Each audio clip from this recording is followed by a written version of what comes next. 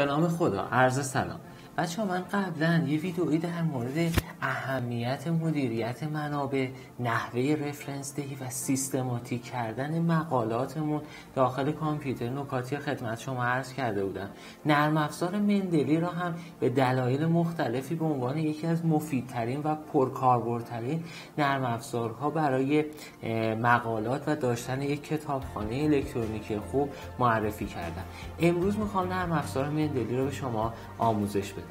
ادامه ویدیو رو با من همراه باشید.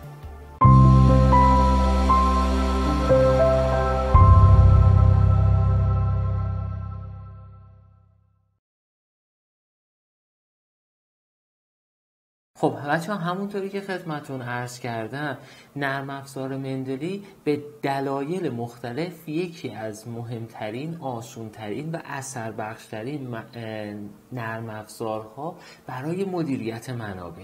امروز می‌خوام چند تا از قابلیت هاشو خدمت شما عرض بکنم.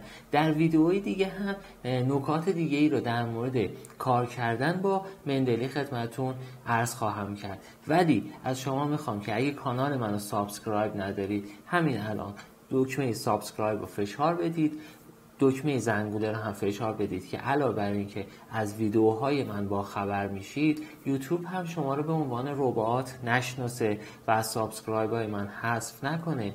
آدرس این اینستاگرام براتون می‌ذارم. اگر خواستید می‌تونید اونجا هم منو follow کنید. حالا بریم سراغ آموزش Mendeley. سایت دانلود نرم افزار Mendeley هم در حقیقت Mendeley dot com ه که شما وقتی که این سایت رو بزنید. صفحه که باز میشه در حقیقت این صفحه اصلیه که هست. بعد از گزینه دانلود به دانلود می‌زنید. این صفحه برای شما میاد. از ویندوز 7 به بعد می‌تونید ازش استفاده بکنید. اگر که سیستم عاملتون لینوکس یا مک هم هست می‌تونید اینجا انتخاب بکنید و نرم افزار دانلود بکنید. خب وقتی که دانلود رو بزنید نرم افزار براتون دانلود میشه. خب من قبلا دانلودش کردم اینجا هست برای من.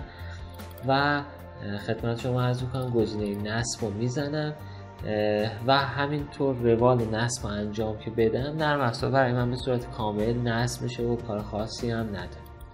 خب من چون که قبلا نصب کردم دیگه اینجا کنسل می‌کنم نصبش رو و میام این قسمت. خب بچه ها ببینید این گزینه مندلیه که نصب شده.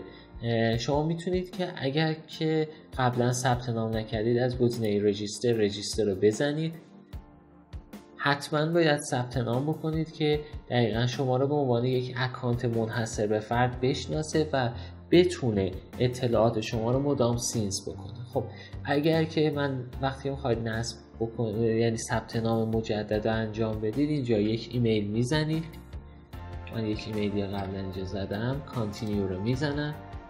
و بعد هم اینجا یک اسمی رو اسم فامیل خودتون و پسورد رو ثبت کنید و نهایتا رجیستری که بزنید براتون ثبت میشه.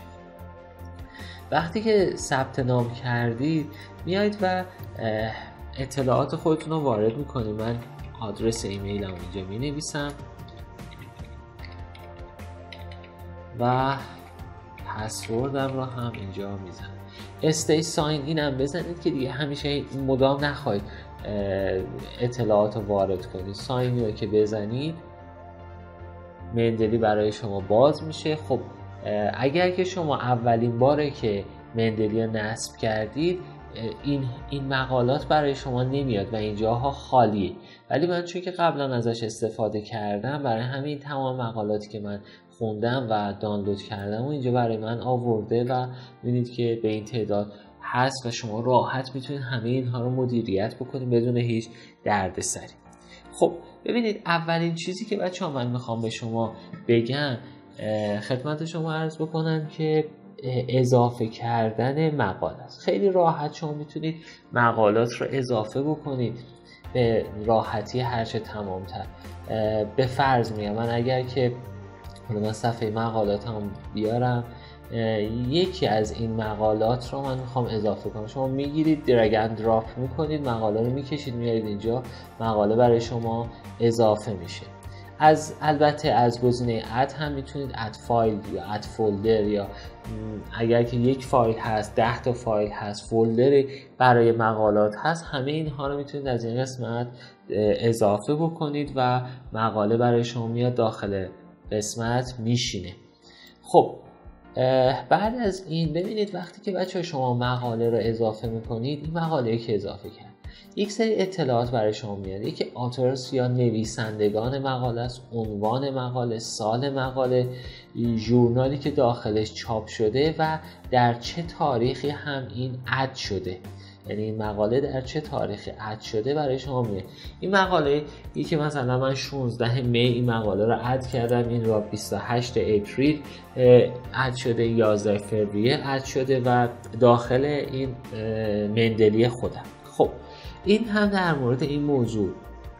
نکته بعدی که خیلی برای من و برای همه ها از اهمیته بچه ها سرچه قابلیت سرچ بسیار قویه که مندلیده ببینید شما فرض کنید که می‌خواید یک کلمه رو بین 200 مقاله پیدا بکنید خب؟ یک کلمه من فرض می‌کنم اون کلمه کلیدی پایانه ها مثلا من برون سپاری آوتسورسینگ خب؟ این رو من اینجا که سرچ بکنم. ببینید تمامی مقالاتی که در مورد آوتسورسینگ یا برون سپاری برای من میار. نگاه کنید به همین راحتی. یعنی کلمات کلیدی رو میاره. به عنوان مثال من می‌خوام در مورد هیومانیتارین یا بشر دوستانه مثلا سرچ بکنه.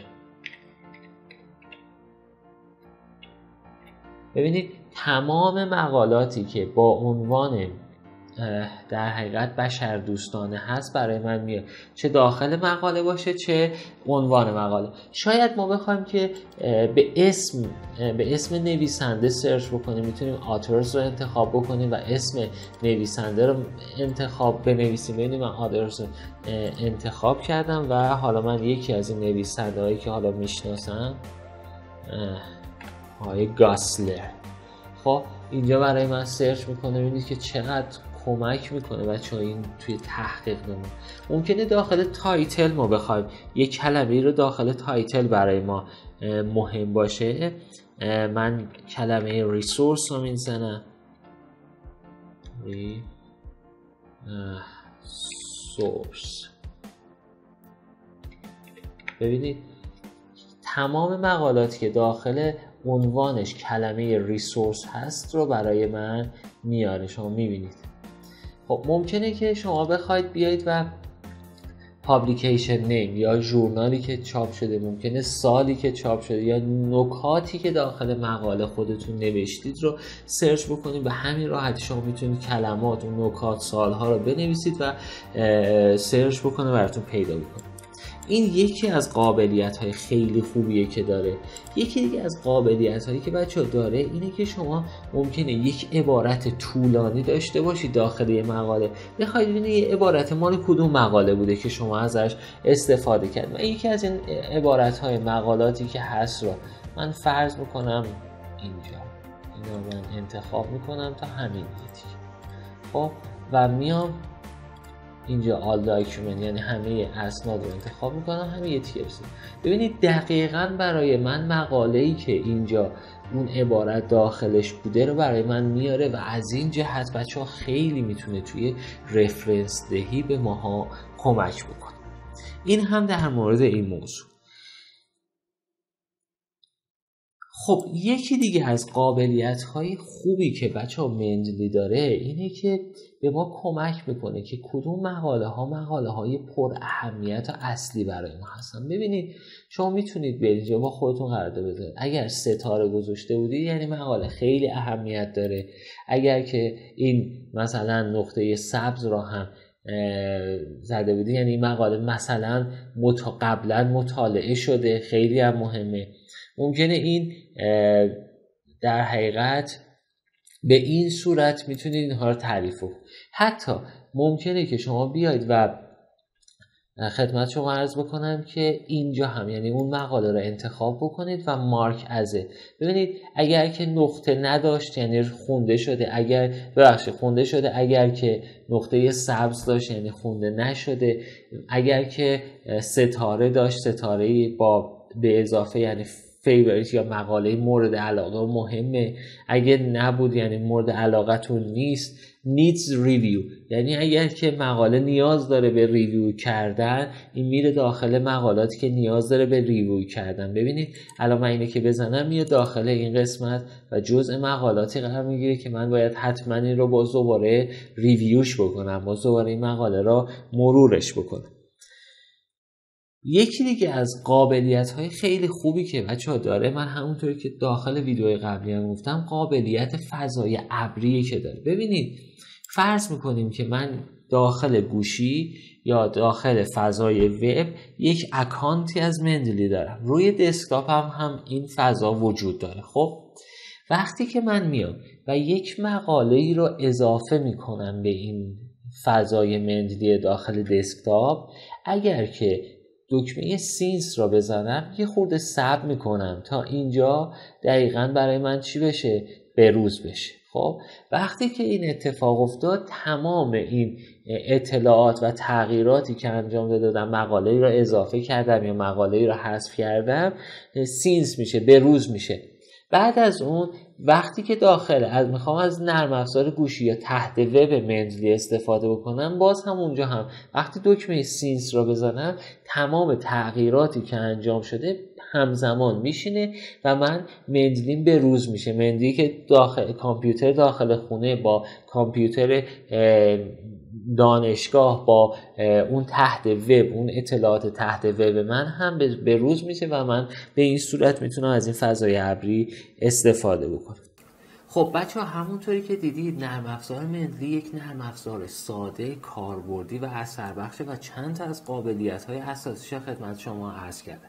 در ویدئوی دیگه من تمامی قابلیت های مندلی را خدمت شما خواهم گفت و دیگه شما به صورت کامل می‌تونید از مندلی استفاده بکنید. ولی از شما می‌خوام که اگه کانال منو subscribe نکردید این کار انجام بدید دکمه زنگوله را فشار بدید که از ویدیوهای بعدی من با خبر بشید یوتیوب شما را به عنوان ربات نشناسه. اگه ویدئوی من مفید بود لطفا لایک کنید با بقیه به اشتراک بذارید. نظرات سازنده شما در قسمت کامنت ها بسیار بسیار می‌تونه به من کمک بکنه. خدا نگهدار.